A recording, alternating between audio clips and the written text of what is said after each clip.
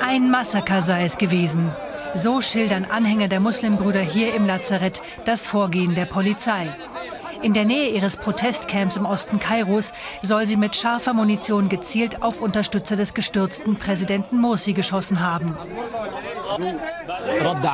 Als ich versuchte, meinen Bruder anzurufen, nahm jemand anderes ab und sagte, dass Ahmed zwei Kugeln in den Kopf bekommen habe und tot sei.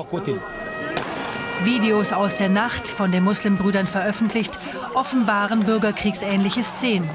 Deutlich sind Schüsse zu hören und zu sehen. Die Muslimbrüder hätten den Vorfall provoziert und aufgebauscht, sagt Innenminister Ibrahim. Ich sage es nochmal, das Innenministerium lässt niemals mit scharfer Munition auf Bürger schießen.